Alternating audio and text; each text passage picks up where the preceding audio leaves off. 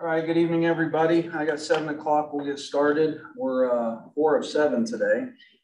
Um, so would everybody please rise and join us in the Pledge of Allegiance? Cheryl, will you lead us tonight? I pledge allegiance to the flag of the United States of America and to the republic for which it stands, one nation, under God, indivisible, with liberty and justice for all. Don't think anybody signed up tonight for the open forum. So that'll move us to agenda item number four, approval of the agenda. Mr. President, I make a motion to approve the agenda. Presented, sorry. Claudia motion, Cheryl seconded, all in favor? Four oh. And I, I, I apologize. Jolene Meyer, thank you for being here tonight. Um, yeah, thank you for volunteering and stepping up to the plate to do this, so. Um, number five, uh, recognitions. So we'll start with, we going in order, no changes? I don't believe so. Okay. You would kind of walk us through that.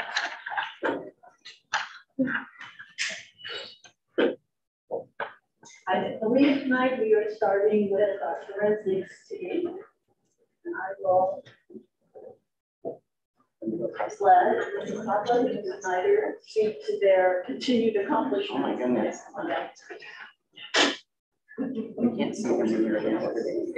You guys can come all the way down in front of the, there you go. So we have. uh, You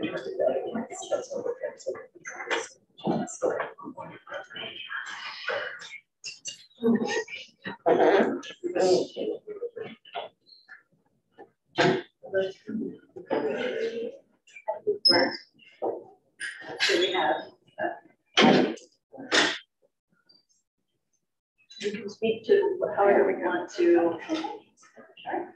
So I will, we have one large group, we're a team, but within that group, there are three that I'll have step forward quickly to be, um, to be recognized. So if you're a state festival qualifier, would you please step forward? These, we had four uh, folks who got to go, um, and these two went and represented us at state festival. Um, and it's much like a band festival or a choir festival, where you um, compete basically against a set of standards and yourself. And so one, two, threes, and fours, we had ones here. So they, they represented us well. So good job for them.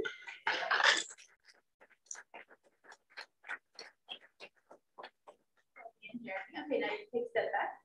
Uh, let's have our state champ qualifiers step forward. Nice job. Um, this group competed at the 4A state championship um, on Saturday as well. And we are a very, uh, we are not one of the largest teams there. We did not have a full team, and yet we managed to finish eighth overall, which I was very pleased with. Um, we had a great day. We had six events go to semifinals, um, and then we had five advance. Um, Hope Jacobs was our one who was a semifinalist who didn't advance. She wasn't able to join us this evening, um, but they, um, but if you were a state medalist, would you just give a quick? We had uh, several state medalists this year. So Bowden and Dagan um, finished. No, Bowden late. sorry, Bowden. Sorry, Bowden. and- It just flows together. Uh, it's usually I'm saying that all at the same time. Um, Bowden and Layton finished sixth in IDA. Um, thank you, with their tried and true methods, um, and improvised duet acting. Um, Maddox and Carly finished sixth in duet acting. Um, Piper finished fifth. Piper Paddock, who was unable to join us this evening, she finished fourth in um, HSA and third in prose. And Maddox finished, he was a, a, they took seven and seventh place got a hearty round of applause and a handshake and not a medal. And so Maddox finished seventh in HSA. So it was a great day for us, um, stacked up against some, some really stiff competition. So I'm proud of them. Um, if you qualified for nationals, can send you guys to step back. So good job.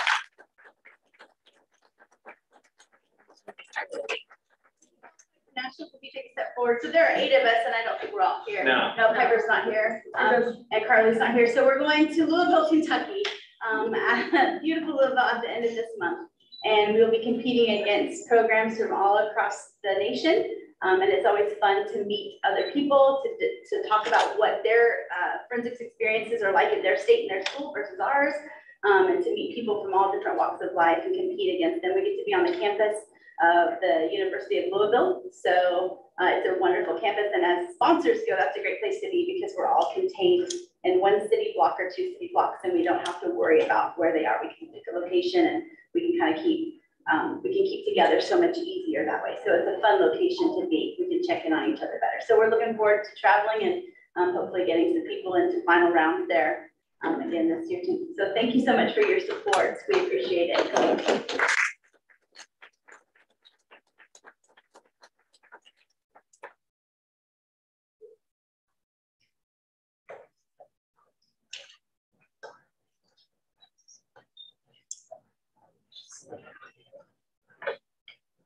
Let's take who comes in.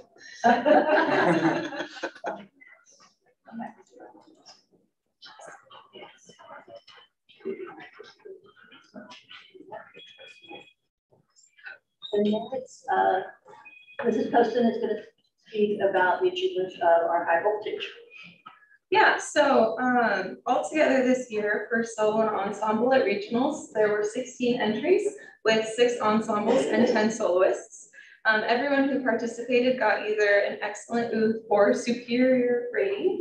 Many of the students could be here this evening um, due to uh, work and sports and all of that. Um, but those who did participate were Justin Booth, Ella Goodman, Marilee Hammock, Sam Hazlett, Kara Horton, Maya Kohlmeyer, Sammy Miller, Topher Pajum, Molly Schlifke, and Jada Smith. Another ensemble was Maya Kohlmeyer, Skylar Schoenbeck, and Knox Karnowski. Another group is Addie Couchman, Callie Miles, Kylie Rice, Taylor Umshai, um, as well as a small ensemble of guys, which was Leighton Burgess, Bowden Foltz, Logan Ingram, Topher Pajam, Sid Schaefer, Gavin Yinkle. Um, Treble Choir also went as a small ensemble and uh, High Voltage did as well.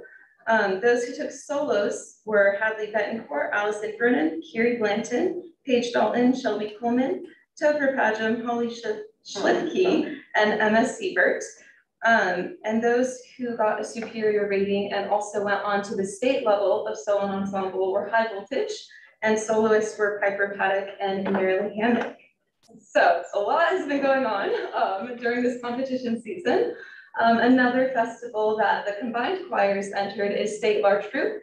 At State Large Group, there is a required list of music and there are different levels for different size schools. So um, level one's the easiest two and then three. 4A schools have to do a, a, level two music, but we actually started by doing a level three music and ended up getting a superior rating from each of the judges at that festival. Awesome. Great.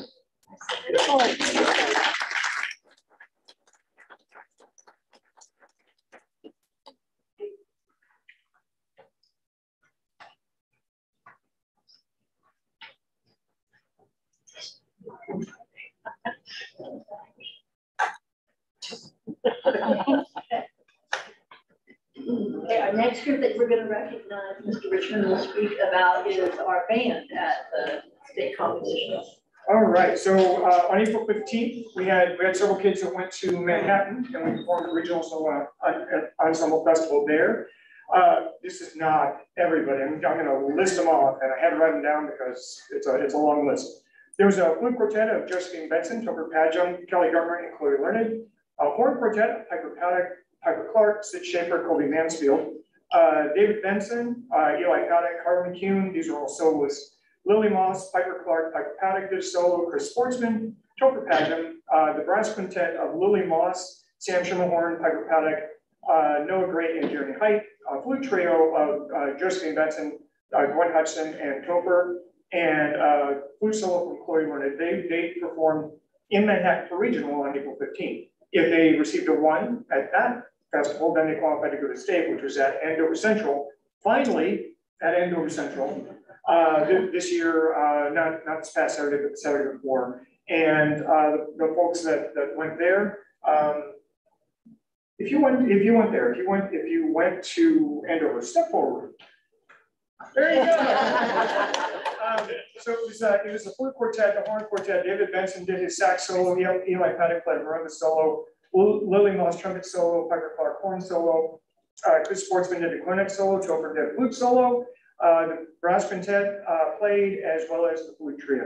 And they did a fantastic job while we're down there. So, thank you, thank you.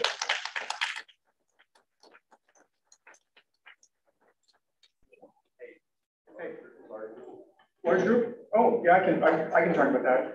Uh, we, we went to Beloit, nice fine two and a half hour drive to Beloit.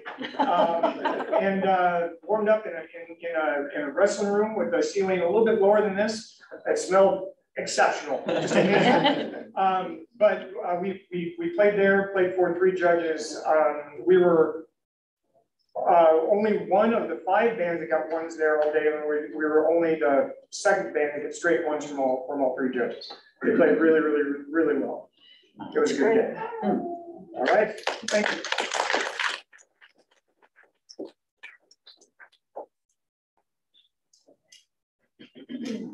Our next group, Mr. Duda will talk about is FBLA, and we've had, uh, four people make, Yes. for the nationals. Yes, yes. Yeah.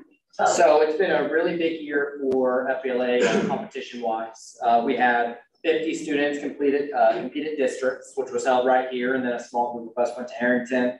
From that, we had forty people compete at state, uh, which was awesome, maybe our biggest group ever. Um, out of that, eleven of our uh, participants got in the top ten. All right, so, uh, huge, huge year for us. I'll focus just on these guys that were able to make it tonight.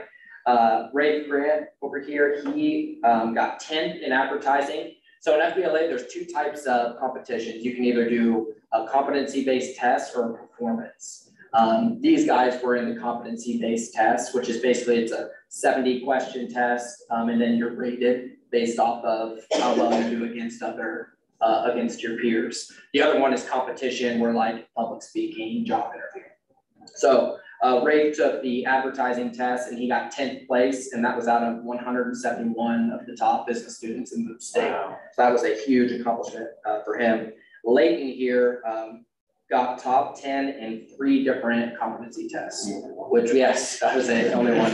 Very big deal, very big deal. He got top ten in computer problem solving, cybersecurity, and networking, uh, infrastructure.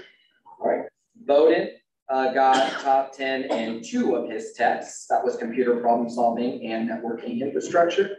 And then Dagan, top two, our top ten and two of his, second in economics, which had hundred and twelve people competing, and third in political science, which had hundred and nineteen people competing in it. So huge day for us. Um, um, as Mr. Strom said, we'll have four people that we were able to get qualified for nationals. Um, that would be these first three here, and then Hope Jacobs, who got second in public speaking, um, and state as well is gonna be going. So really huge year for FBLA. We're, we're super proud of these guys' performances. We're nationals. Oh, nationals in Atlanta, in Atlanta. So that is at the end of June. We're getting scheduled up, so big trip for them, no doubt. Excellent. Congratulations. Thank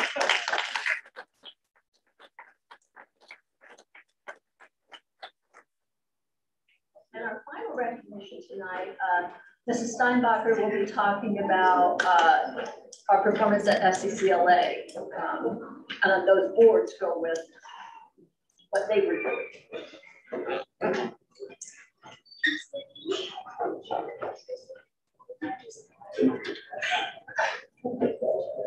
Good evening. This is our FCCLA representatives for this evening. Um, we took five people to state leadership conference in April, and they all performed with making the boards. They're called LEOs or Leadership Education Opportunities. They worked together on um, creating a project. Uh, I believe these two did theirs on their career and how FCCLA has affected their life and their future. And he has um, represented what we've done in um, FCCLA to help edu- educate people about what FCCLA is about. So that's what the, the LEOs are. Um, they take those down to a conference. Uh, we do sessions uh, for leadership, learning different things through FCCLA. And um, it's with people all over the state.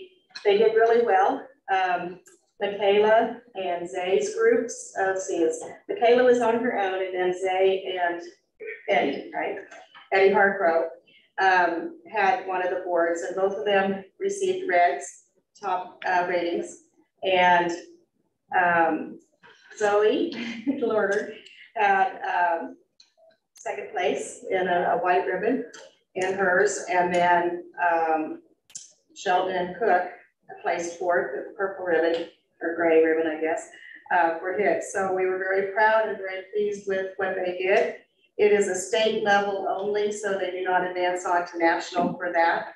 Um, our hopes is that next year, now that they've got some, we've got a young group in there this year. Michaela was our, our um, elder of the group. And so uh, we're hoping with our young group next year that we have more that will compete with um, the uh, star events so that they can qualify to move on to nationals.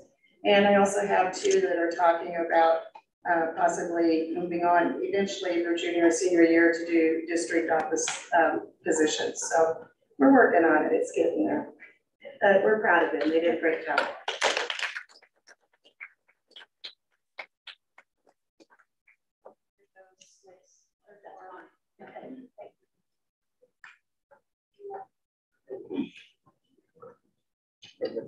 Yeah. Um, item number six is the uh, administrator and director reports again. Um, thank you everybody for the time that you put into that. Um, we, I, I do read them. I can't speak for everybody, but um, it, it definitely spurs some conversation um, with the superintendent. But I, I appreciate those. Um, I'm gonna miss them this summer. I'm gonna miss reading the handbooks again. Right, yeah. Um, so that'll bring us into the consent agenda. Mr. President, I make a motion to approve the consent agenda as presented. I second. Cheryl's, uh, motion, Claudia seconded, all in favor? Four oh.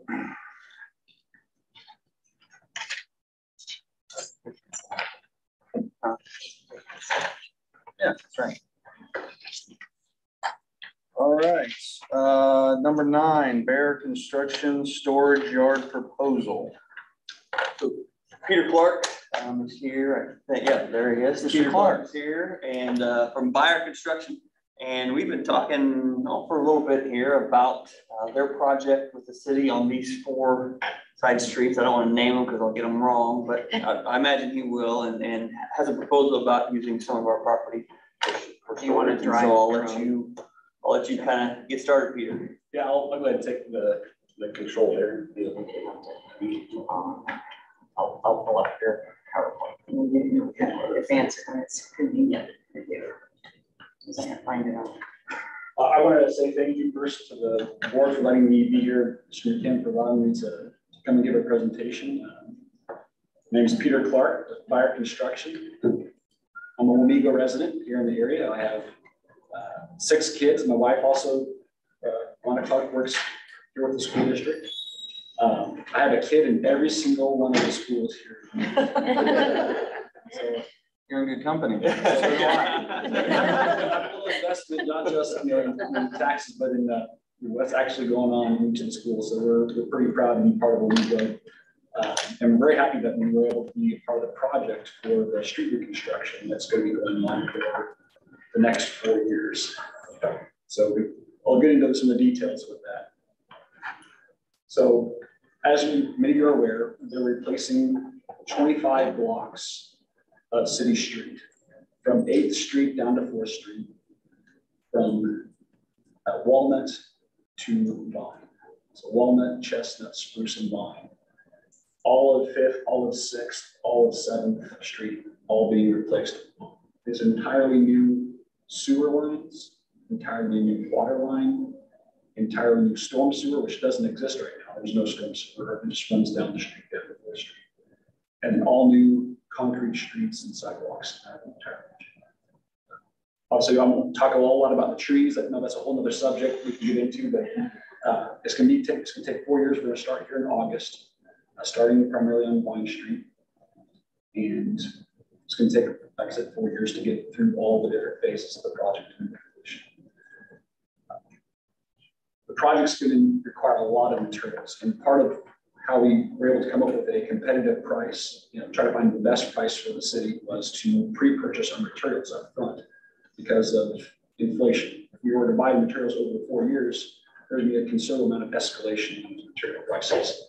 And having them all together and got purchased up front would work very well to have a lower price. But the caveat is they make you actually take the materials, have them on your home. They, they won't hold on to them for you for four years after you buy. So that brings us to one of our needs, which is that we need to have a location to store some of these materials. We're talking about, uh, like I said in the previous slide, uh, eight inch water and eight inch sewer pipes, about 7,000 foot of each of those. Uh, stacked up, it takes up a little bit of space, not tremendously, but uh, between that and some storage containers to store all the little pieces and parts that, can, that connect the pipes together, um, we need a little bit of space.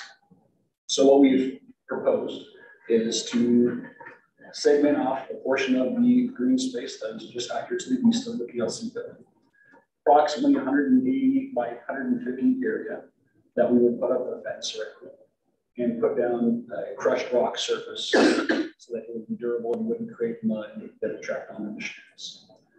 And then we put up two covered structures on the north end for able to put the, the plastic pipe underneath. Plastic pipe uh, requires that it is not exposed to the sun or have direct sun exposure while it's being stored because the plastic, it actually will uh, degrade over time and UV exposure. So it has to have a, some sort of covering. So what we propose as part of that setup is that we have two of these uh, coverings that require a connex on each side. Uh, we use a total of three connexes with two hoops uh, connecting the three. Uh, they make, cover about a 40 by 40 square foot area, uh, be sufficient to be able to store all the pipe underneath and protect it. Additionally, we'd like to encompass the whole site, that 180 by 150 site with a six foot uh, fence for security and, and privacy uh, purposes and put a construction screen on that fence that would uh, help to screen out you know, the, the industrial sense of you know, having materials stored there uh, and allow us also to put up some logos of the city of Wamego, Bayer construction, and potentially some uh, advertising for the school. That's desire. So we can promote the, the football team, basketball team, volleyball teams, wrestling, whatever could do to, to help to enhance that on this fence. Obviously, it requires some maintenance over time. We put down an aggregate surface, rock surface. That requires some regular mowing and weeding around the edges to make sure that it was kept in a neat and orderly manner. Um, obviously, the materials come in packaging, so we have to do daily policing and cleanup of packaging and materials so it wasn't creating a nuisance from uh, the area and unsightly. And of course, it had a gate that we would lock on a nightly basis uh, so that it would stay secure. In addition to that, the, the connexes would also, also have locks on them so that anyone who was extremely desirous to climb over a fence would not be able to get into the connexes. And if they want to carry an eight foot or actually a 16 foot, eight inch pipe on the shoulder and climb over the fence, more power, more power to them. Probably not likely going to happen, but uh, that's something that I'm not terribly concerned about. Another option we thought about that I wanted to make sure you're aware of is if you had a desire for that particular area to be used as a future parking lot, what we could do is grade that lot before we put down the aggregate base so that when we're done, it could be used in the future as a parking lot or be ready for receive paving if that was desired. That's an option I wanted to be aware of that uh, an add we could do to what we're doing at relatively little cost to us that could add a benefit to you long term. However, I do not know what the school district's long-term plans are for that particular site, so that's just something to keep in your hip pocket. So when Mr. McKim and I were talking about this proposal, obviously we're asking for a benefit for Bayer construction as we try to accomplish this project for the good of the community, but you know, there's probably should be some sort of uh, compensation to the school district for this effort. And contemplating some of the needs of the school district, we know that there is a need for some work to be done at the stadium parking lot. So I put together a package of what we would consider as a, uh, a competitive opportunity to provide a benefit to the school district with the resources we have. Um, So I'm gonna go through a couple different options we can do with that, with the stadium parking lot. We know that in this current situation, the stadium parking lot has a a primarily a, a millings and aggregate service, so it's not paved right now. And it has a relatively steep slopes as you enter into and come out of the uh, east side of the parking lot onto Columbia. And those steeper slopes uh, cause that the runoff that comes off of the stadium parking area, it kind of goes fast toward that end and it carries the, the rock particles down onto the shoulder of Columbian and then down into the, uh, into the ditches along the way, which are filling up with that material. Which is some concern to the city maintenance long term. Long term, there could be some regrading done at the parking lot that would flatten things out and eliminate the amount of uh, material that is being scoured off of the parking lot. The, the flatter the, that the hill is, the less velocity the water will run with and the less material will be washed away. So we're aware that there's a, in some design work done to identify about 30,000 cubic yards of material that can be cut down on the site. Uh, what we would propose is that uh, if you, if it's agreeable, you can work towards cutting that 30,000 cubic yards and creating a fill site just adjacent to the west side of the state, approximately two and a half acres. Uh, that would provide a more, another two and a half acres of usable property adjacent to the state and also just south of the current uh, practice fields that can be used for more activities, uh, athletic or otherwise. That dirt just, just move from one site to the other to make that fill, to provide that benefit. You'll probably never find dirt more accessible and more convenient to make that kind of a uh, fill and have that space available than what you have in now. That being said, I know there are some potentially some strings attached to that property where that Zillow site I show you is located. So we have come up with another option that you can consider. But the first part of that, the details of this proposal number one are that we would clear the trees in the fill area, prepare for the fill. We would cut and haul the dirt and place it in the fill area with compaction testing to make sure that it was filled properly and would not consolidate over time. We would cover the parking area that uh, in the park in the existing stadium asphalt millings six inches deep on a flatter slope so they would not wash away. Seed and mulch and provide erosion control for the fill area so that it would be stable and, and usable long term. Uh, provide all the grading design by Bayer construction in-house so that we give you a turnkey project to be able to uh, have it be completed. Total cost to do that would be about twelve dollars and fifty cents a cubic yard to perform that. And that is with a discount for allowing us to be able to use the storage area here adjacent to the PLC. Another small caveat to that is if you wanted to perform any concrete paving on the site, we could perform that at approximately sixty dollars a square yard. And the reason I mentioned that, um, if you were to grade the site so that there was kind of a low point down the center of the parking area, one of the best practices is to create that, low point is, is to have actually have about a 20 foot wide concrete pad. That would be the length of the parking area, which is about 500 feet. Comes out to probably around a thousand square yards. That way, and all the water that would drain from this direction toward the low point or from this area down to the low point would collect onto that concrete surface and then drain out to, to the ditch. And that would ensure that you know, the material stays on site and not wash down into the ditches. So that's that is an option to be considered that we will provide. Option or proposal number two is doing the same grading we talked about, you know, cutting down the stadium parking lot cutting about 30,000 cubic yards. But instead of creating a fill area, we would export that dirt offsite.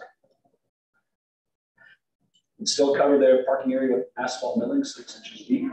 Uh, provide the grading design in-house, so we have a turnkey project included with this. At total cost about $9 per cubic yard. So pretty good savings there. And again, if you desire to have that concrete paving as part of that, that is an option that we can provide. And lastly, for your consideration, if, if all these options are something that you are interested in, but not sure if you want to pull the trigger, or you're looking at, okay, if you didn't do anything with the stadium, what could you provide to us as a school board Bayer Construction for the use of the lot? I'd like to propose that for number three, that we provide a cash rent of using the property for those four years of fifteen thousand dollars. Allow us to use that space and return it back to you when, when done, in its original condition. A Grassy, usable area for uh, soccer game, soccer practices and football practices as we're doing it for this day. That is another option that we let you guys consider. That is, those are the three options I'd like for you guys to consider and discuss. I'm prepared to answer any questions you may have about what we put together. So on your proposal piece, taking that grade stuff out, what happens to the two shop that brings that it goes up into? Does that get pulled and does the, does this price increase count for replacing those? If you look there to the west, top northwest corner of where the red is, that's what current shop that brings exist. I would, my, my quick, answer, my quick answer to that is the exact limits of the grading, I'm not sure of what that is. I do know from having driven that area quite a bit that there's a pretty good knob of dirt above the shop footprints. Um, the grading may not necessarily have to impact those, but if they did, they, those would be put back the way they were. And that, that would be included as part of the overall package. Anything we disturb would get replaced uh, as part of that, as part of that compensation. And I'm assuming that you would carry liability for this lot over here, liability insurance? Yes. Is there any way that during a school day that the trucks could not go until what, eight thirty? Yeah. Eight thirty or nine? I mean, I don't want to mess your schedule up, but boy, that is just a mess right there at that intersection, so. I think that's worth consideration. You know, And then- talking about, there's things that we can do as we begin our day. Typically, our crews begin work around at seven, seven thirty. But we know we're gonna be working right in the middle of the neighborhood. And we're gonna have to take into consideration you know, the pedestrian traffic and everyone in their homes, you know, and what they do at seven o'clock in the morning. Right. So yes, we will be making some accommodations to make sure that, you know, we may have crews who are present within the job site, doing certain things, preparing for the day, but uh, not having you know, heavy equipment driving up and down H Street can, can be something we can do. Okay, Thank you.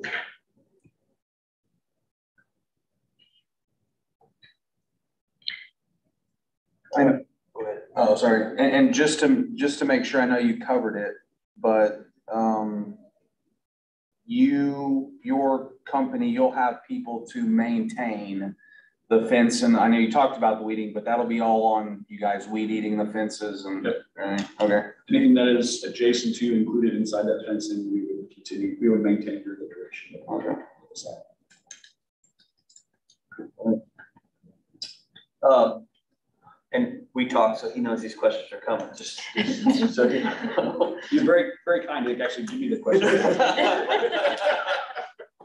Uh, We like our kids to do well, so that, that's, um, if we, in our proposal from Olsson, they talked about AB three and Road Rock to cover that, uh, wear and tear. Talk to me a little bit about that and how that would change our pricing potentially.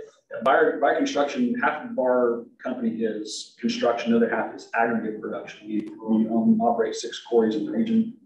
Um, So we're aware, well aware of the costs of aggregates and also millings. I can tell you that the price for AB three, which is a, a certain gradation of crushed rock out of Quarry, which is the closest quarry to us right now, is just the material without any of the shipping or the cost of placing it is fourteen dollars and sixty-five cents a ton. And you would need a lot of it to cover that size six inches thick. The, there is a substantial, it's, it's not exactly half cost to do millings, but it's probably about sixty percent of the cost to use millings for the same purpose versus the AB three. And I would add that asphalt millings, you're looking at it from a just the usability standpoint, asphalt millings have less dust And they have basically the same amount of fine material, you know, the small particles as AB three does. AB three is primarily small particles, with a little bit of big stuff inside to give it some structure. But the amount of material that would wash away is practically the same amount whether you put asphalt millings or AB three. If it's not paved, if it's, if it's one or the other, you're gonna, you're gonna have about the same amount of stuff that's gonna wash if you don't change the grades on the to keep everything flat and keep everything in place. The city's gonna, because they're not okay with our millings right now. Correct. And I, I would say it's not that the, the millings themselves inherently are bad, it's how they're placed on a steep slope. The, the grade of the parking lot is what's causing the problem, not the millings themselves. As I said, we worked with Olsson to kind of set up some of this project before you work with Olsson and Kane, you work with them if need be on this project. Yeah, Olsson is the engineering firm that designed the Wamego Street reconstruction project. So we've been working with them hand in hand, and we've historically worked with them quite often on various projects throughout the Flint Hills region. Uh, Olsson's had a presence you know, in Manhattan for a couple of decades now. We work with a lot of projects, so these are the project managers pretty well. Last question on my list. I, don't know how turn, I don't know how ready we are for this project. So it's a four-year lease or four-year use of our, our property. Um, there's three different proposals. Do we need to decide right now what proposal we want to use, or can we do that at any point during that four-year time frame? I think if we're agreeing that we would like to do a partnership, then that's really what we need to know is, yes, you're agreeable to have a partnership and let us use the site and what exactly is done of the three options. I'd like to do that. We're open to any of the, any of the three to us are viable options now, or uh, I'd say probably at least for the next two years. Otherwise, the pricing, you know, the cost of, of the work might change a little bit, primarily because the costs I'm describing mostly are, um, you know, equipment and labor costs to actually move the dirt. And those costs, as you know, will be affected by inflation in the next couple of years. So I would have, to, if we were to talk again and say in 2026, we say it's time to do the work, and we had to come to an agreement before that point, we would probably have to look at a little bit of escalation in the costs. Now, we agree, if we agreed now, I'd still do it in 2026 at the price I quoted. If we said, let's do it and let's do it in those days. So do we have to wait until twenty twenty-six to get the football parking lot done, or could we do it before that? You could do it at any time. If you, if you said, Peter Clark, you want Bayer to proceed and we agree might to do it this summer, I'd have resources to have it done this summer. And you said the reduced cost was twelve dollars and fifty cents a cubic yard um, for proposal one, or, yeah, proposal one. So how much is that reduced from? Well, about, and what we, what we perceive the value of Right. renting the properties around fourteen thousand. So if you look at it from a percentage standpoint of how much it was reduced, it's not reduced a dramatic percent. Uh, mostly it's our ability to put together a, a competitive package Right. and a team that can perform the work when you need it and being willing to be at your, at your beck and call to a degree and do it when you want to.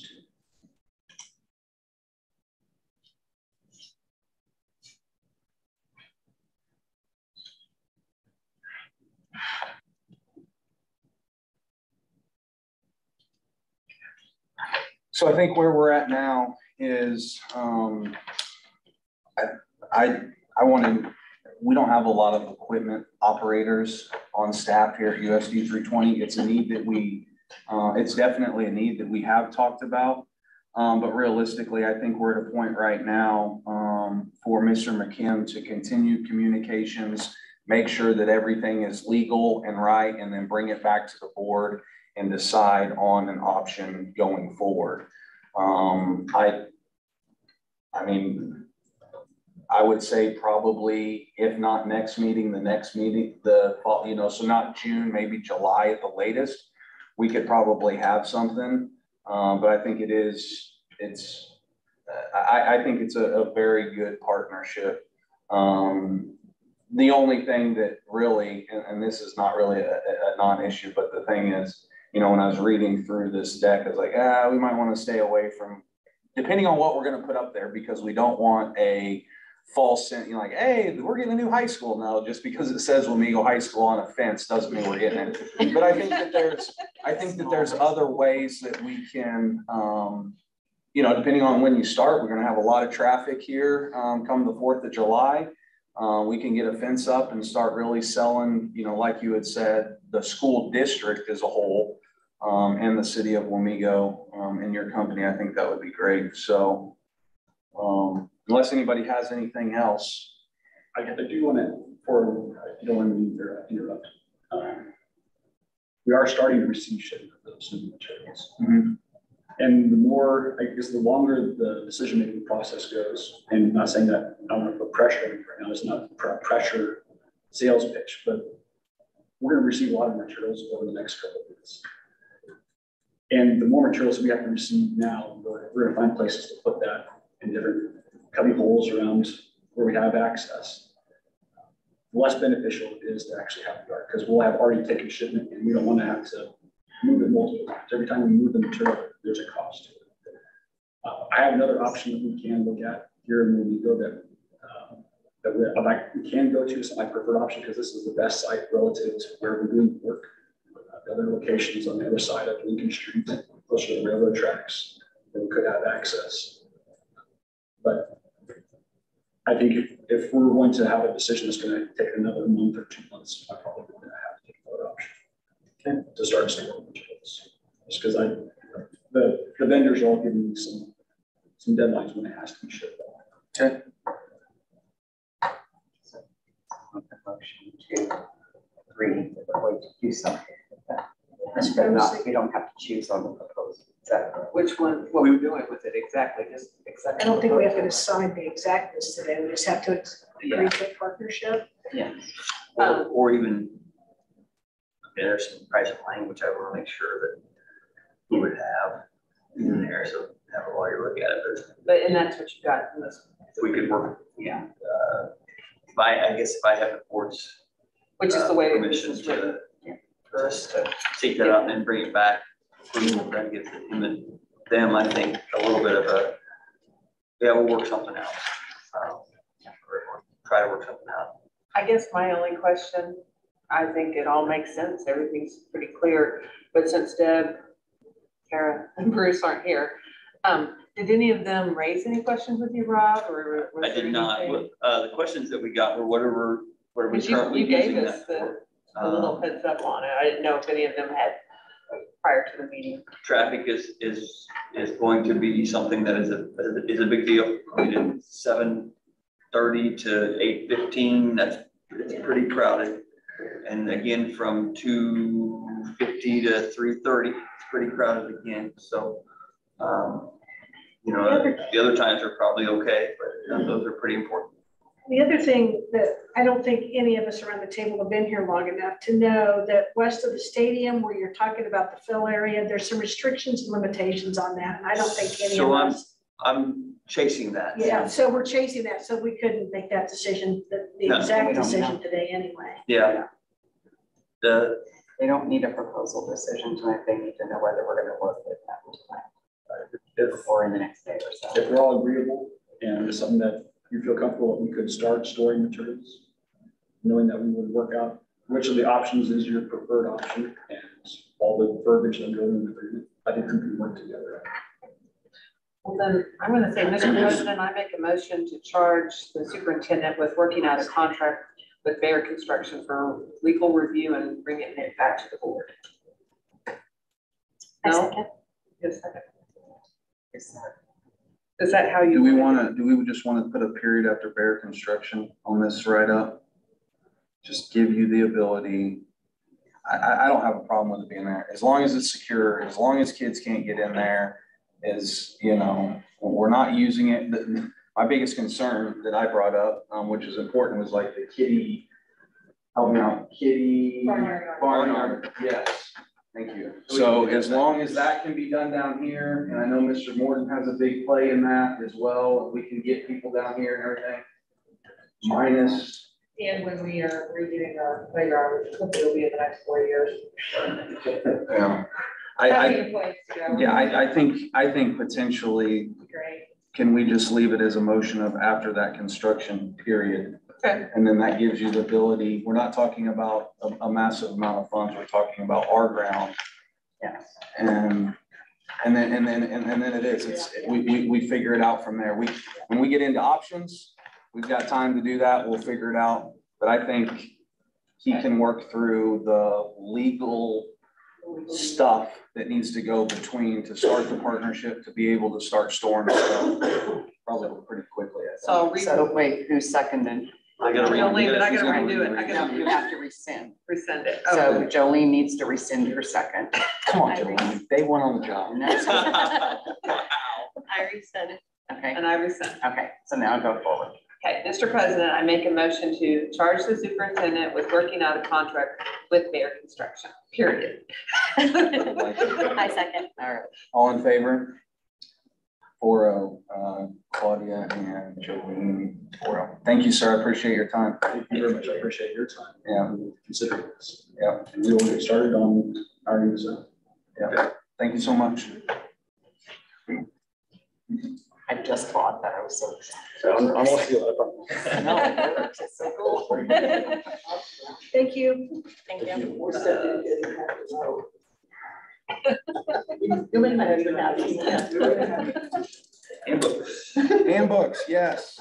You're welcome for the additional reading this weekend. Yeah. And, uh, does anybody have any uh, questions, I guess, uh, the, so we are continuing to scour our handbooks for areas where we don't necessarily agree, and knowing that each building is unique to itself.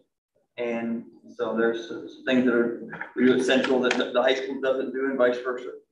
Um, But we're, an example would be transportation. We trying to line up transportation because that's pretty similar as far as uh, the process if a student doesn't behave appropriately on the bus, that should be the same in all of our handbooks and then um, also in the transportation. So we're continuing to try and line that up we can.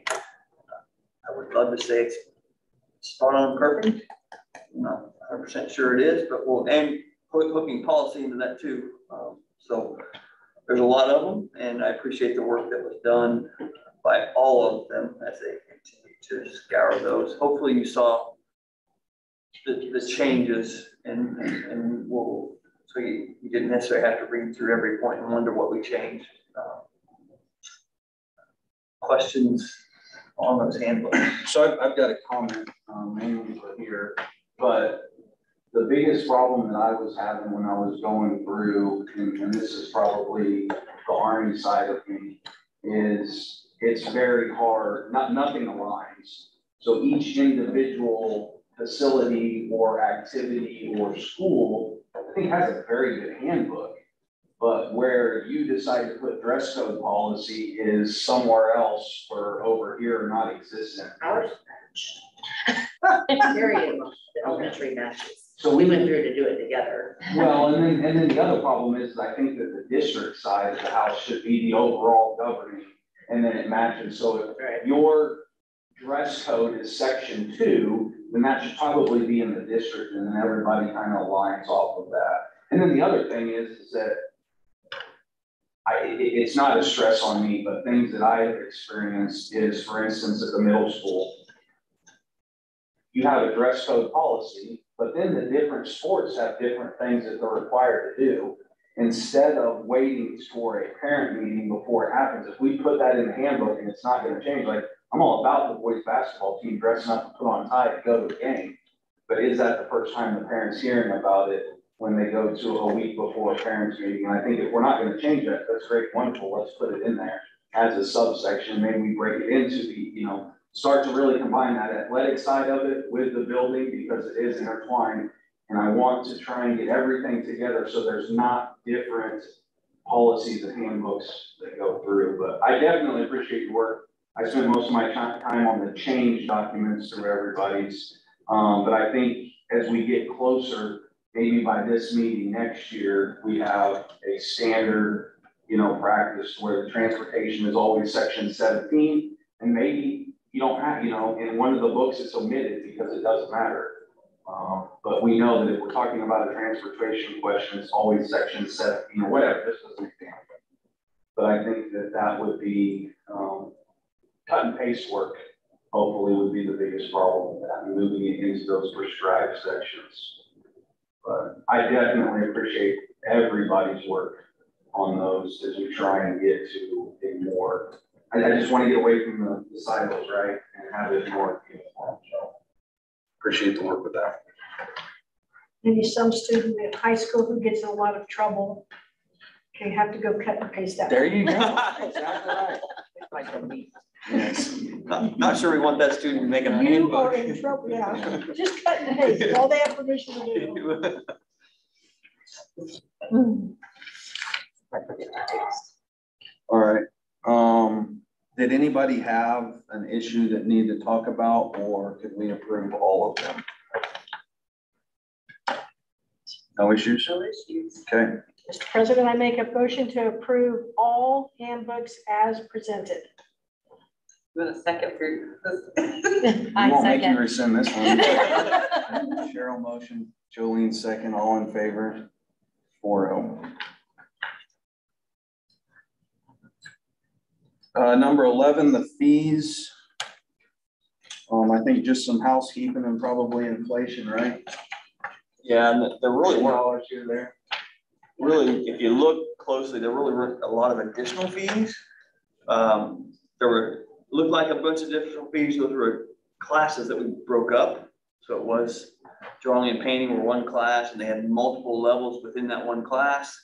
And then we created multiple drawings and multiple paintings. And it went up about ten dollars in that class. Those are some of the things that we're encountering as, as the world is encountering it. Things like art supplies have gone up and, and pretty substantially. So, um, the other part was, athletics. The league has raised fees. We haven't raised the activity pass. Travis, when was the last time you? It's been that since I started in two thousand ten, so I don't know how long. What's that? Activity, activity pass. Activity pass has been that way for, so. Um, we're just thought we would increase that ten dollars.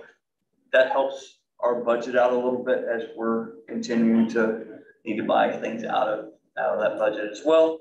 Um, you'll notice that food service is not on there. Milk, and it, it will be eventually, but, uh, we're waiting for the feds to, to provide their feedback and, uh, both on milk prices and on where we should be for a cost on that, so. What's, uh, what's the, what the two, mainly the two schools do for students that are, um, on a free and reduced meal plan when it comes to fees, give them the opportunity? Where does that, get- is it just waived or is it picked up by something else, or how does that work? Middle school. For, yeah, for activities, yeah. We typically have like, um, different people will step in and say, hey, we got everybody needs different stuff. If there isn't, then You know, we want that. Cool. Can I, the same for art? I mean, surely we're not going to stop a student from taking an art class because of fees, so we'll- you guys have always done this, you've always figured it out.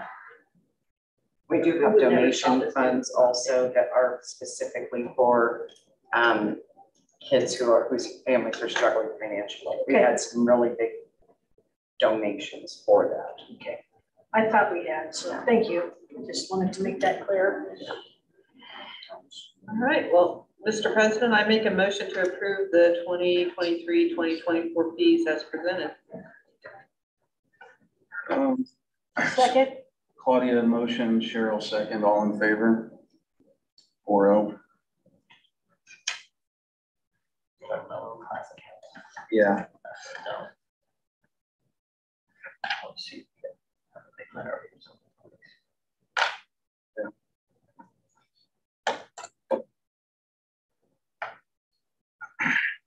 Capital outlay plan. So we have been working on putting this together and uh, Which one did you want? To go with the, the larger one. Large projects? No, sorry, The other one. the, the master sheet. And this is something I'll send out to you and, um, so you can kind of keep track of, of what we have there. I might steal your pointer. Yeah, it's got a a laser thing on it. Lasers. Maybe I already have. No, it's what it is. I think it's laser. I probably, probably shined it at that guy in the face. All right, so, uh, if you go over to the master sheet first, over there on the, on the bottom, of course, the tabs are on the bottom, so when I send this to you, you can, you can, uh, move around in this, uh, color coordinate it as best we can. Um, this area over here. work. The red is previous years, we talked about that. 22, 23 is column G, so that's current expenditures, and then as we move across, those are projected expenditures. So what we have in the plan right now, is it hundred percent done? No, but it, it, we're a lot closer than we were three months ago. Um, Mr. McKim, if we turn that light off that we turned on for the kids, they'll be able to see the screen. Those two, No, by the, no, by the the. one the flag, flag, because it makes the screen thank you, nice flag, better. perfect. You Oh, That, that works. Um, so then how do we, how do we get these numbers down here? Well, if you go to mechanical systems, right there, clicks on that, then you can see you know, 22, 23. You just go right down this line. This is what we've expended. Remember, green is not hitting cap outlay, but it does allow us to keep track of kind of those year over year expenses. Um, and so if you go up to high school, you'll notice that we, that's where we spent two hundred eighty thousand dollars on our hot water boiler heaters. So it, then that just pulls across and goes into our master sheet. Um, Back to the master. no, no, and so then the next year, we're, so we're pretty well, pretty well done with 22, 23, and, and the, the things that we have expended and will expend. There's one exception, that's transportation, because we're looking, but 23, 24, so those are the projects that we have kind of in mind, or those are first on our list for 23, 24. So the ones that are made that list, unless you go out to the side and like, we'll wait until failure, um, which is an okay thing in that situation. They may not want, we'll have to ship ice in for a couple days if the central elementary ice machine fails, but, um, you go down to west, for instance, um, so the heating boiler replacements there at hundred and eighty thousand dollars, that's an approximate cost. Trent's working on getting some final costs on those kind of things. But we are concerned that those will go out, very similar to what the high school did on us this year. We would prefer not to be in the middle of heating season. And so that is on the list to replace this year, if at all possible. So that's kind of the idea for each of those that we've kind of worked through. Um, if we do have a situation where, for instance, we'll wait until failure, we'll leave it there. If we can, we'll move it across to the next year. And that will be money that just doesn't come out of cap outlay for that, and we'll just be able to slide that across. Um, buildings and grounds, if you click on buildings and grounds, same idea. Uh, those are expenditures that we have. One thing you'll notice, if you go to Central Elementary, and I'm not nailing all of this, but if you go to Central Elementary, the,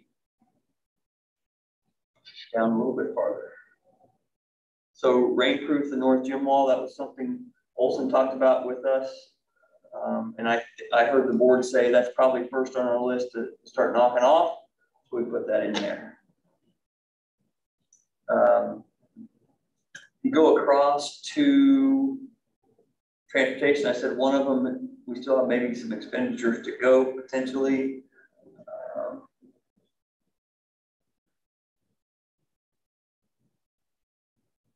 So we are, if you remember, we have the, the smaller bus that was in an accident. We're trying to find that. Um, not the second one that was in the accident, the first one that was in the accident. So we're trying to find its replacement. And then when we added the three, four different activities, we knew there's a good chance we need more transportation of the smaller variety. So they don't make the ten passenger vans anymore. So it- the next level would be like a suburban type vehicle. So we were looking for something along those lines. Uh, if we're not able to find those, again, we'll slide them over to 23, 24, and continue to look for uh, the right vehicle for us. Those. If you go back over to the master sheet. And you cross the top. And we'll try to, so I used eight mils and I used the number that we brought in this year from those eight mils. And just put it all the way across the top there. If you go seven mils, as we're starting that conversation this summer, we'll, we'll be able to play with that number, change the number if need be, and then um, you'll know what your projected balance might be if you, if you change that around a little bit. Knowing that, can see in 26, 27, we have some pretty big expenditures come in and starts dipping us down into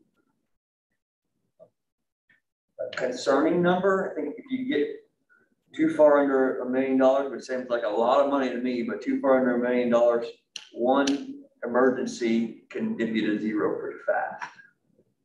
That would be uh, something you need to be aware of. So that's what we'll track. And you can kind of see, we, we just said, you go down just a little bit, Catherine. We thousand dollars as kind of a, a placeholder for salaries that can come out of cap outlay. We try to get those out of there if at all possible. But as you can see over the last, go ahead and go back down. As over the last four years, the expenditures, there's 200, zero, zero, 166. So those are the expenditures that we have needed to use in those situations. So the um, mills do not show any increase in valuation. Right. I used that as eight mil. This would probably be the lowest number. Uh, I'd rather go with the highest expense and the lowest profit, and then it- that also gives us just a little bit of cushion. We'll change that on a yearly basis as, as that grows. You don't think the county will lessen or home evaluation? Well, they didn't mind. Maybe they didn't. They didn't mind. They didn't mind. Um, so. Now, also to remember, like for cap outlay and for LOB, the state. What's the right, well, we get a certain percent of money from the state, so they equalize that. In, in our bond and interest, we equalize, but it's like it somewhere between eight and fifteen percent for us. This is about fifty-five percent. So the money's, we are helped out by the state a little bit more in our cap outlay and in our. So, Rob, I apologize, I didn't look fast enough. Did you put in the parking lot, the football field parking lot anywhere? so go, go to the large projects. This is the second part of that. If you go to that.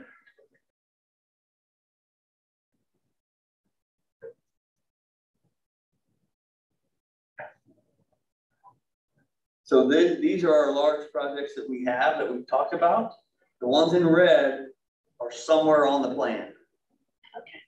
The ones in black aren't on there yet, which is concerning because there's a lot of big numbers in black. So the parking lot was budgeted at six hundred When, thousand.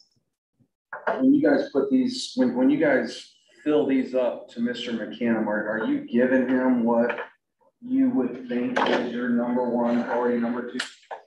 How, how is this list being developed from the school? Sorry, no, I should.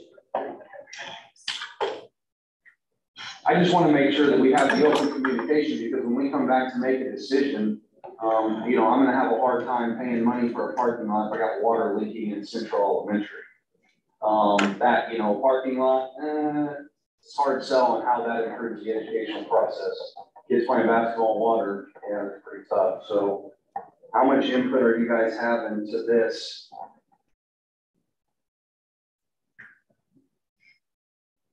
spot. I went to, uh, Right in front of their boss. We looked, we looked at it, but we didn't, we didn't, we haven't, we didn't grade this. No, no, no, I would, I would just like to make sure that the communication from, with, you guys are the subject matter experts in your building, that Mr. McKim has a prioritized list of what you think's going on, so that we come to that, because I don't wanna be in, the I don't wanna be dabbling in your guys' stuff, I just wanna say, let's spend the money here now, because this is what Terry's most important thing in Central Elementary is. I mean, we talk about it, but also some of the mechanical stuff, especially like. No. I mean, or some of that, I mean, there's a whole section of that stuff that Yeah. like. I don't know Things that when they're gonna we need aren't air compressors for the, or whatever, you know, Trent and them have. Or like a roof or a boiler or whatever. Yeah, That, like those, thi- I don't know what you guys think, but those things, I trust that, right, somebody else has gotta make those Yeah. decisions probably. And, and I will, uh, maybe help or make it worse. Um, they also have access to a little bit of money for their educational stuff that they, they don't, that doesn't go on here. They just, every year, they get that. And I think we have a couple things on consent agenda where both Terry and Amy dipped into that for this year and for a little bit of next year to do some technology projects that they wanted to, that were a priority for them. And that just started last year with Mr. Mann, that's the first year we've ever been You like it? allocated. We'll see. I'm not gonna say that yet. I have some kind of strong opinions about that, but we'll, we'll see. So I'm just gonna, yeah. Appreciate your support, in Yeah. figuring it out and giving us an honest assessment, because I think it's important, you know? Yeah. Okay. Yeah, I mean, we all sat and talked with Mr. McKim individually about like our list and looking at that and. You know, there's definitely some things probably that you would see on there that are, would we really love to have, that are, do you have to have them right now? No, um.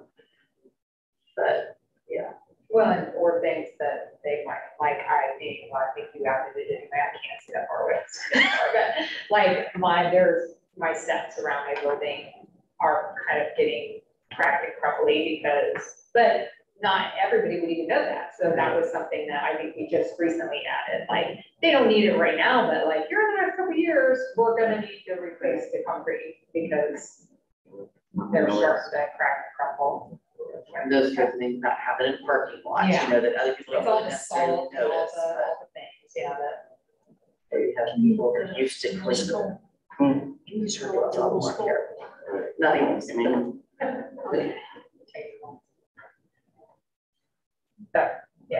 more careful. Not even, I mean. Yeah. And there's the one million. Yeah. I think you can be, I'd be able to guess that if you were to ask him what was most important to me in my building, then it sure he'd tell you. No, it's your auditorium lens. No, that's just Coplet. It's my, my clocks and my Oh, yes. Clocks and bell bell system. system, because it's outdated and there's only one person who can update them anymore, but, I mean, he knows that, and, and, and he does his best, at least I feel he does his best to figure out within the system as a whole, how do we prioritize what needs to, to be, and I completely understand, we're one of four buildings. Um, There's a lot of stuff, Yeah, there's a a lot of lot stuff, of but things. yeah, he, he can, he talks to us and he understands what my needs are and, and why. You're, you're supposed to be the, he's supposed to be the unbiased person that Right. Weighs all the needs, and- yeah. Which we all have biases, that's just right, the way it is, but. And the securities, we talked a lot about that, and will obviously be. Can we- on the list. And those numbers are on there. Right. And, and I have a little bit of time, I'll talk about it, but, um, as far as how much of an update you want on those, but, uh, yeah, we have some decisions to make too. Yeah, no, I'm, really excited. I mean, we asked, well, we told our constituents that we're going up to eight mills about nine months ago. And I want to make sure that, you know, this is what we need to be able to make the decisions of how we're gonna wisely use the money. Um, and, uh, you know, get after it. So spend the money that we can and do it responsibly. I'll send those out. Um, so you can, you can dilly dally with them or, or, you know, dive into it a little bit more if you want to. Thank you.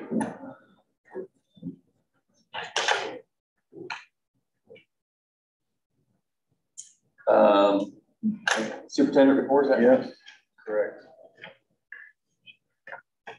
The, uh, safe and secure entrances, um,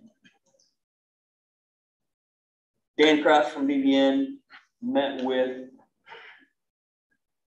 Brad at the middle school and met with Amy at West Elementary and kind of just walked through, um, their thoughts and ideas and then put together, um, the plan. How much of, I mean, Grayson from Olsson came and, and talked with us through on a, we had a capital outlay evening. We could have Dan come in and he would walk us through that. Is that something the board wants to see, or they just, like it's sent, like I could send you all the plans, uh, we could talk through it at a board meeting, well, how do you want that information given to you? I think the first thing I want is buy-in from the building. Leadership, does that, does that make sense? Is that what you guys want? Is that, you feel comfortable with it, or I don't want you guys to feel that we're pushing an easy button with anything we do with your buildings. I want it to make sense, I want it to be user friendly, I want it to be what you guys want, you're the ones that are there every day. That's what, I, I would really like to have that thumbs up from you guys as we're going through this process. Um, That's, that, that's what I mean, does it make sense, is it safe, does the team in those buildings support that plan? Get it done. The middle school after we came, added a doorway, I mean, never gonna be easier, but uh, it makes the most sense when we explain some the stuff, it makes it perfect sense. Add the doorway, to so the office staff get out to the hallway without having to have another office staff person buzzing out. Ours is- going to work. So was the final plan for your office staff to move into the?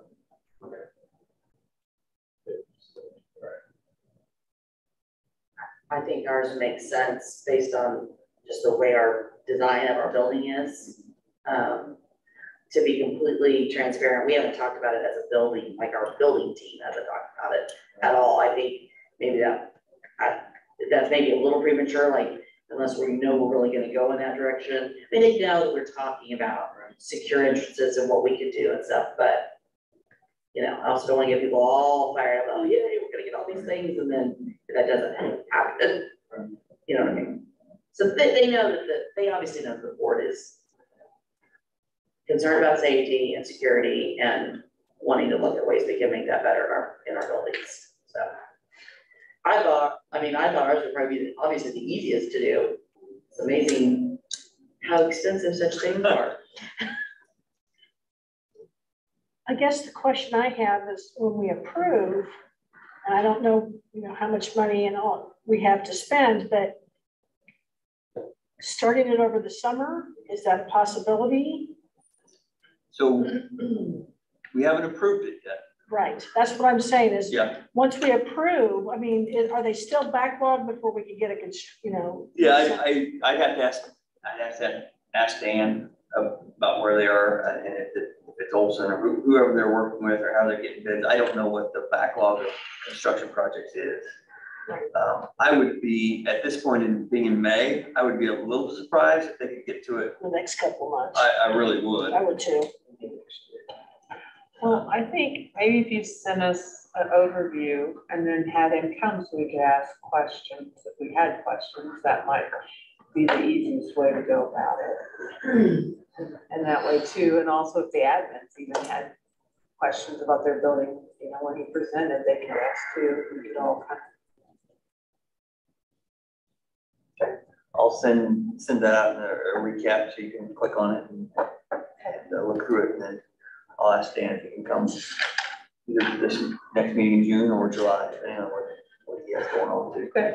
Keep in mind, they also, uh, the government is sending out, or keeps having several grants about hardening numbers, so, um, I don't know that there's anything active right now, but, uh, constantly watching for that, so. the way Quicker we must- have it in, It's yeah. good to have numbers, because then we can, you know, go a little quicker on those grants. I've not seen one that pays for the entire thing, it's usually like fifty percent of it. A match or something. No. But that would, would help. The state didn't allocate a lot of money for that, considering the number of school districts there are, but Five, five million, I think it was. yeah, I don't, yeah. That will, that'll go quickly. And, the- and he is still, Dan is still working on the high school. Uh, and I work, I asked him about it, he goes, man, you are a tough boss. I said, well, I'm just, he said, that is going to be involved, involved. There's no easy answers for that, so they're still working on high school. Pay them all, but try to figure out the plan, right? We haven't paid him anything for high school. No. Yeah, the other, we did pay him for the other two, but. Uh, uh, end of your breakfast, May twenty-fourth, seven thirty to eight forty. What time is your PD got that day, do you remember? Starts at nine. Starts at nine, so we could go to eight forty-five, but, um. And in in the consent agenda, you saw a whole bunch of our businesses donating either gifts or, or I guess probably not the right word, items, trinkets, money to, to do for our staff and, and to put some things together for them. As always, the Wamego community steps up and, and provides and, and wants to be a part of what we do in school. So we want to thank them. Uh, But also want to invite you guys to be there. And so uh, just give me a heads up if you And you have retirement coming up too, party, right? so we have two things. That's, that's a good point. We have retirement here on the fourteenth, Seven, no, seven. Seventh, seventh, Seventeen. I was like, wow, we missed it. Yeah. Seventeenth here, just for our retirees, and then And uh, after school, right? that's after school, three thirty to five thirty. Come and go.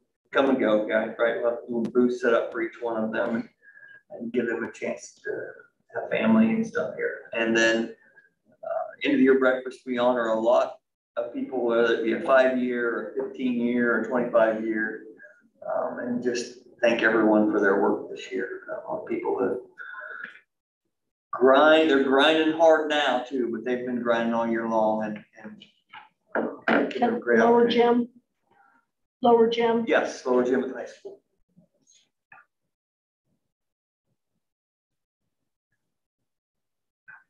You don't have to let me know now, but if you are gonna be there, give me a heads up. Yeah. Next on my list is budget spending progress. Um, Catherine and I looked at this today. Okay would be the word that I would use at this point, so we're talking about gen fund, cap outlay, you saw a little bit of that. Um, the, the two big ones are Gen Fund and LOB, and, um, with two months left, we're okay. Catherine, am I, am I wrong to use that word? We don't have a ton of stuff, we're like, whoa, we're not in, in the chips, we're also not, uh, barely making it too, so we're just okay. Most of our expenditures like all our building budgets have been spent, because we said that by April sixth, and so those things have been taken care of. You still have a lot in May, you sell a lot in June, and out of your gen funds. Um, and some of your LOBs, and some of your at-risk is where your salaries still come out, so those will still take a shot, but as far as projections, we're okay. Um, I would love to see much more there, but I have to remind myself that being okay is sometimes okay. So, um, personnel, you probably looked on the personnel and saw a bunch of folks on there and in my career as an educator, educators move later and later in the school year, it seems like every year. And so it's not a surprise to me to see the openings that we do have. It still makes me, and I think those folks behind me, not breathe as easily when we have openings. And so um, there may be something in the next two weeks where we need to get someone on board fairly quickly, so we might ask for some type of meeting, Zoom, is, is fine, where we just approve a personnel report. So that that gives them an opportunity to, to have some, or whoever we're bringing in, we're not gonna have a personnel report to take someone's resignation, but we will to hire someone in, so, um, hopefully that will be something that we work with leadership on and might need to have that as we go through. And then lastly, for me, is, and I have these, I'll give them to you as, uh, these are board recruitment, or board member recruitment flyers. So you might use one of those or send people to me. I'll give them one as well. On it, it has, yeah, you want to pass one to Jolene? We'll give her several, um, but not to give out the yourself. But on it, it has, this was Claudia's recommendation. You can click on the application um, for the city, or no, sorry, for the county clerk's office. Yeah, because the, you know, that site's just, not- I, I had someone who was interested in running for my position. And they said when they went to the site, it was so confusing. So I was like, I, I asked Rob, could we have a way to make it on our end, make it, but at least they can find it and mhm. not have to hunt and peck through the election side. Because you have to go to the county and then you have to find the clerk and then you have to find the elections and then you, it, it's, it's quite, quite the process, so. And, and I, we have five positions that are gonna run. That's that the way to say Are that? up for. They're up for for election, yeah. thank you. Five positions that are for election. And I'm not running, so, Claudia has told me. so anyone can run because it's at large, so, yeah, yeah, yeah, just want to get the word out. Uh, So I'll give you these before you leave today. And Julie, the meeting that you had last week, I thought went really well, but if you have a list of those parents, I would love to have it and reach out to them, because I think they brought up some really good stuff. I'd like to be able to shoot them off an email and just let them know. Yep. I, I could, this is also comes in, in PDF form. Yeah. Would you want our principals to send it to all of their site council members? Yeah, if you would. I just, I haven't heard much buzz. I'm glad Claudia has, but I haven't heard much buzz and I, June first is coming very quick. It is, it is. And I've heard, but you know, Cheryl, hearing doesn't mean action. So the more we put, put that out there, I think the more likely someone will step up and do that. So, and site council members are your active, usually the parents that are paying attention and a little more active. So not always, but. That's, that's mine. I'm on the school board because of Amy and her, her, uh, her site council. I'm gonna give her a plug right now. It was you saying, hey, as a site council member, you should go to a school board meeting and you shouldn't be afraid to go and you should pay attention to what's happened cell phone and stuff. And A long time ago. it was girl, but, but it's what made me realize that this is here and what it's for and it, it started my journey. So thank you. Thank you. Um, so fourteen, board business, um, probably the, uh, I, don't- I don't know, I'll put you on the spot, Scott, but it, for what you can speak about, um, with the recordings and everything, we've done a lot of different evacs, um, evacuation drills at all of the buildings. Um, would like to hear, you know, how those going, what, what you can tell us, obviously, um, because there is some, security risk there with our planning, but anything that you can talk to us about some of those, how they've been going, what, where we need to improve that, we definitely appreciate hearing that. Um, one of the efforts that we try to make this year is really increase our, our uh, partnership with our first responders. So, um, we've, uh, we've asked them to be in our buildings with, for these evacuation drills, for the tornado drills, for the fire drills, everything. And so the more they can get in there and see how we're doing things and, and give us some feedback from their perspective, um, that helps us. And so they've had, uh, several of them. The other day we had sheriff department and, um, local police department there with us. Um, I saw the fire chief there. So that is, that has helped us and, um, I hope we can continue those partnerships. Um, we, each, each each time we do that, we afterwards, we do an after action review with, with the first responders and um, talk about anything that we saw that might need to be, you know, talked about or like shored up for the next time. Um, we did that both at the high school and at West the other day for it. Can we go into more specific things than that or? Hell, it just sounds like you're on it, so that's good. No, I- I It's really the principals that are, I mean, because they, they have to have a plan and, you know, the plan is not gonna go uh, probably as planned when it happens, but the more we can talk about it and at least have some idea of the way it should be done, um, helps us in a real situation. Um, My evacuation drill was actually a real. Yeah. I mean, it turned out being not a real situation, but we all thought it was, so it was fantastic because the fire department came and everything. We had a preschooler, not a verbal preschooler, full of fire. Oh, That's always fun. Yeah. So, I mean, we evacuated and it was great, but we did, I mean, again, it was not planned, but we counted it as. Good answer. Because we did it. Another thing those drills do is help us, especially when we're going to another site, make sure that we're talking with the other site that, okay, we've got the keys to be able to access it. We have, you know, we have things in place so we know what to do and how to, how to get those buildings and things. So. Are the substitutes informed? I mean, do they, if they encountered something as a substitute, would you feel like comfortable and that they would know what to do? And know what your expectations are? Yeah, but probably not as well as they could be just because And probably not all it's in of the them. plans, but yeah, right. I mean, like our regulars, yes, Right. but you get new subs in kind of frequently. We are going to be bringing on a standard response protocol, and that is, we'll put that out to the protocol for it.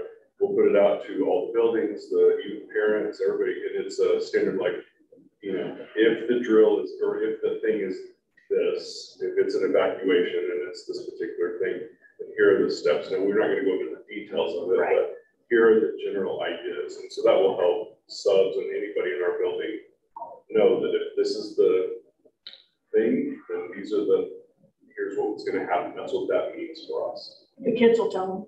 I say, especially if the time we get to West, the kids are gonna have a better idea than themselves of what to do, especially with the drills. Uh, I was extremely pleased with how, um, our elementary and our high school kids did on the drill. It was, they, they took it seriously. They didn't, you know, mess around and, and, and try to escape and run and all that. They took care of business the way they were supposed to, so. They really do a great job. They take those things seriously. I mean, whether it's fire, tornado, or evacuation, I feel like kids do. A great job. The final thing I'll note is we have accountability procedures in place that I'm not gonna go into the details of, but to make sure that, you know, and it's multiple layers of accountability so that the building is, we're not leaving anybody behind, that we know where all the kids and the staff are, so. Thank you. So that was one of the topics that we talked about. Does anybody else want to bring up anything for this evening that might not be on the agenda that we can talk about? Any issues, concerns?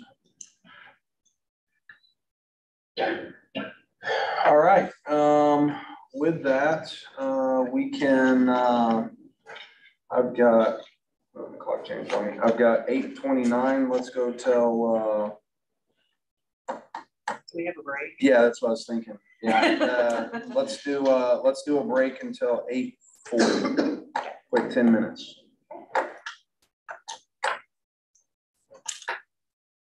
And then we'll come back and go into executive session. And you're done with us. And it's, Yay. Nice.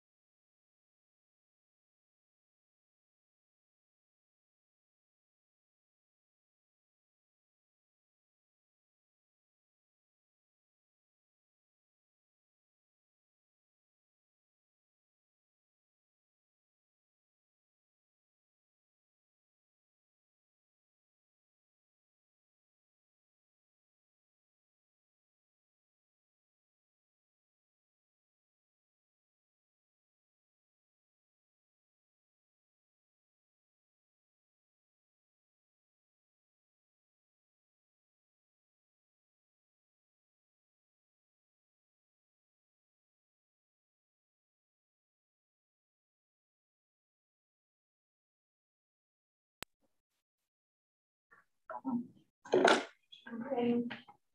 Give me the second one. Mm -hmm.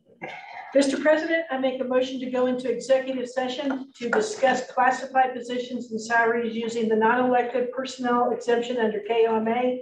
to invite Mr. McKim and Mr. Graber into executive session and to resume the open meeting in the boardroom at 8.58. A second. All in favor? 4-0.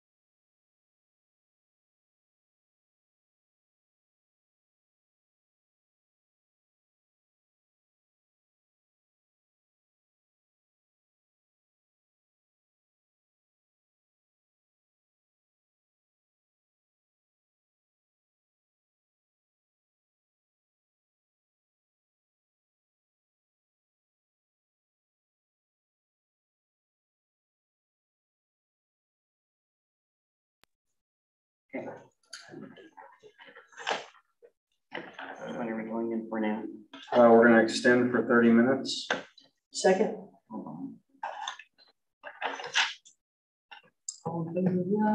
We're extend to nine thirty.